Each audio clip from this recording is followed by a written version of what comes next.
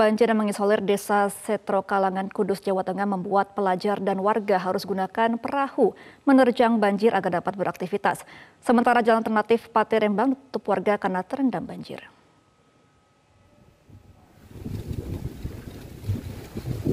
Beginilah kondisi banjir di desa Setro Lakangan, Kecamatan Kaliwungu, Kudus, Jawa Tengah. Ketinggian banjir masih mencapai satu meter lebih. Sudah dua pekan banjir menggenangi akses satu-satunya jalan warga.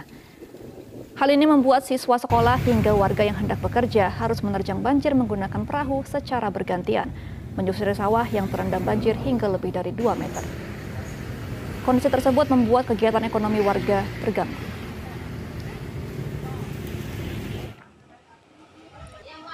Sementara itu, jalan alternatif Pati Rembang di Jakenan Kabupaten Pati ditutup oleh warga.